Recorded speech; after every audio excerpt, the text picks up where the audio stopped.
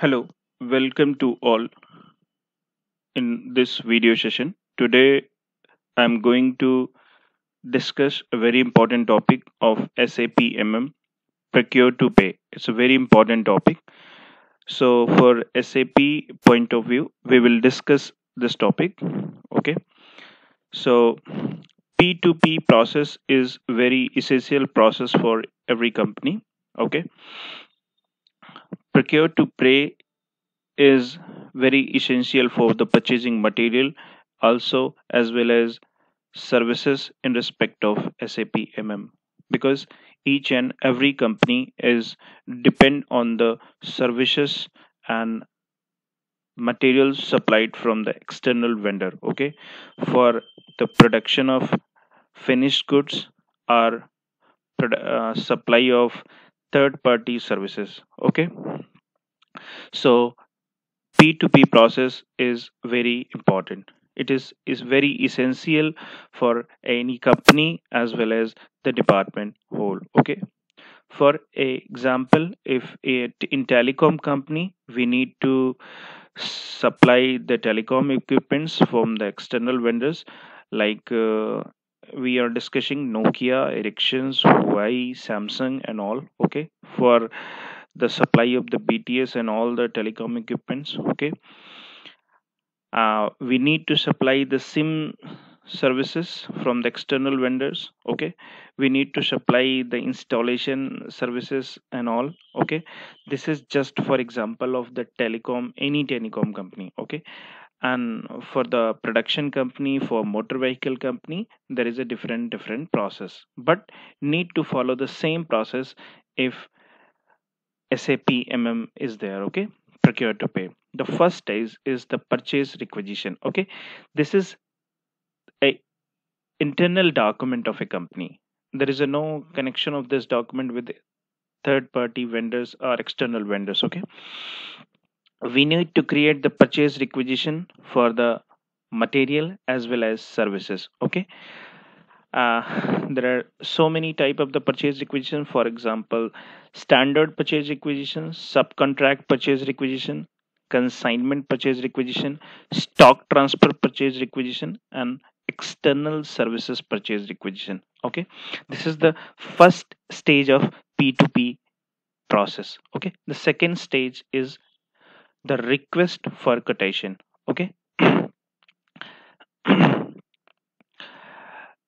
This is the second stage of the p2p cycle rfq we generally say rfq okay? So purchasing department or mm department of a company okay send the requirement that is the request for quotation to all the vendor for the best prices. For for example if i am going to procure a material then i need to uh, send this rfq request uh, send the RFQ request to all the vendors which are working in this field for the best price availability. Okay? So RFQ can be manual can be sent manually and can be sent with respect to purchase requisition. Getting my points?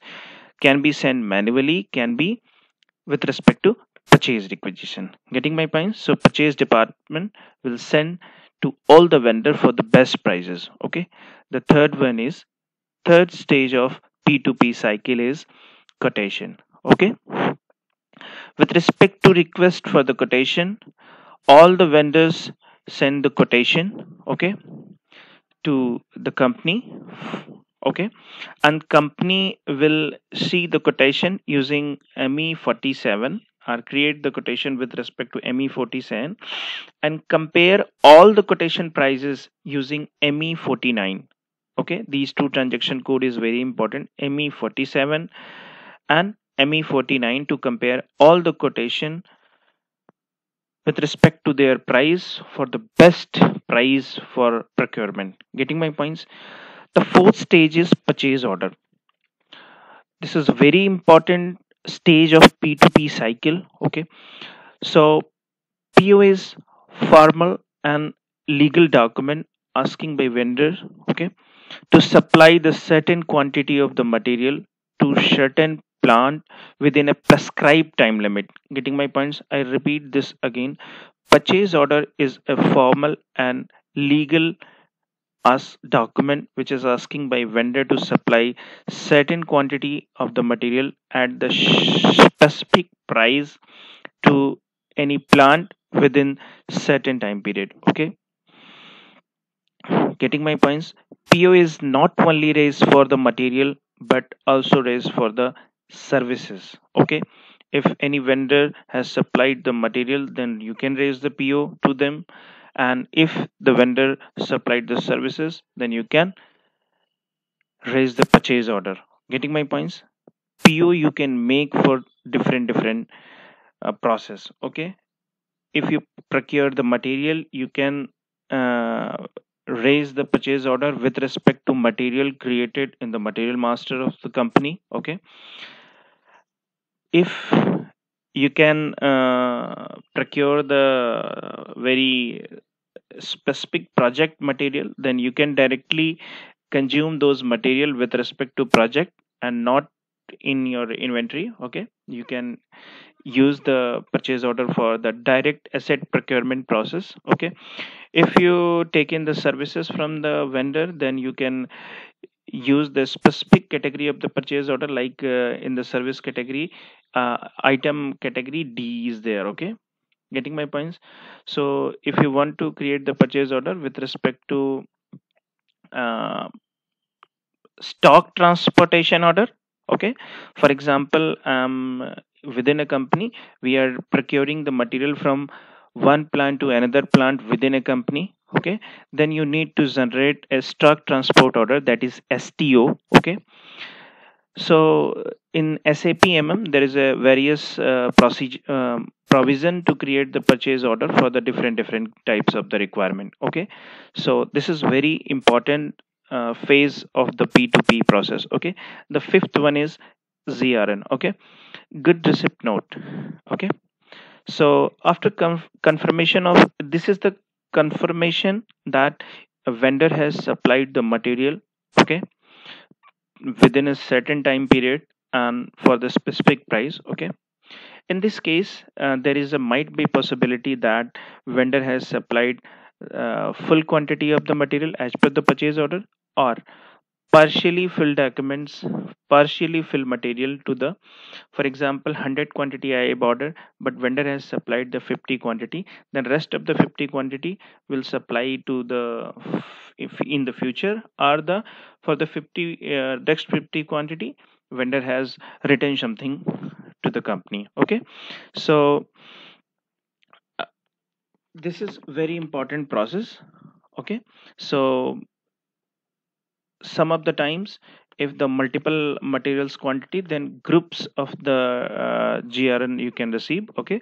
And good receipt note you can generate using the transaction code migo in sap mm there is a very nice transaction code uh, migo good receipt note with respect to purchase order okay? Using movement type 101 so you can do this okay? Once you do good receipt note a mm document will generate and subsequently a accounting document will generate okay? That will be helpful during the next process okay? The next process is the logistic invoice verification okay uh, this is the part of sap mm but it is closely related to fico okay? Fi and co financial and controlling okay? So in this process we will do uh, this uh, vendor in, vendor has supplied the invoice with respect to uh, good receipt note. So we will do the invoice verification with respect to transaction code miro miro okay here we will issue the credit memos for the material reversal or we will do the invoice uh, reversal okay? So after this process miro we will do the vendor payment okay? For any company any plant for any company any plant company will do the payments to all its vendor with respect to supply of the material and the services. So after doing uh, after the completion of miro uh, the company has own choices and methods to do the payment with respect to uh, by using a check or any electronically mode transfer okay? So uh, precisely if i'm seeing the p2p process the logistic invoice verification is the last steps last step of this cycle. But vendor payment is done after this stage. So this is also very important okay? So p2p process is very important. We have discussed the p2p process with respect to sap mm okay? Okay? So thank you for watching this video okay? Please like share and subscribe this video okay for better understanding how to uh, procure to pay process is this okay Thanks for watching. Have a nice day. And if you have any query in your mind, then please free to do comment. Okay. Thank you.